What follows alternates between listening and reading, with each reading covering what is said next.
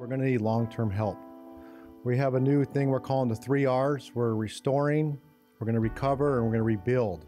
On behalf of Folsom Cordova Schools, we are proud to partner with our neighboring school districts and the Butte County Office of Education to support the thousands of students and staff displaced by this tragedy. But what's also immeasurable is the commitment that Elk Grove Unified School District has in being a partner um, in this work.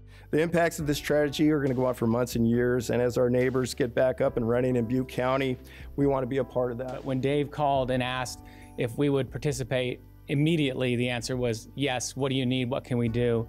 We are here to help because in our business, uh, we are one, we're united. Uh, Butte County's kids are our kids, and we owe them the best we can do to make sure they can recover as quickly as possible.